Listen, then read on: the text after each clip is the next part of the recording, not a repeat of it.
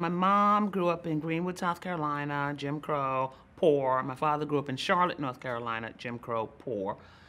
Um, but they had brains, um, and they, I remember them being avid readers.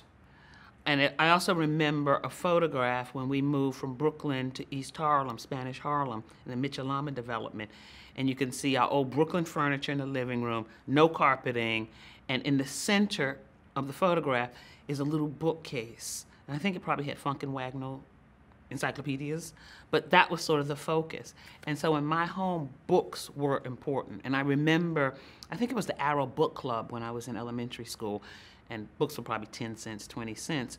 And while if I wanted new sneakers or a leather jacket or some, some it was like no. But when I came home with like 10, 15 books that I wanted to buy at the book fair, my parents never said no. There was always money for books.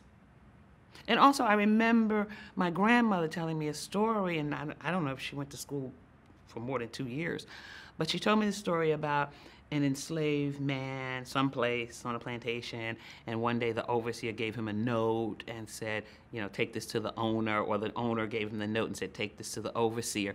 And when he did so, he got whipped or beaten. And the moral was, had he been able to read, he would have never delivered that note. So growing up, um, as a kid in the working class and as uh, from coming from people who had gone through Jim Crow, the lesson was your mind, reading, education, that's going to be your ticket.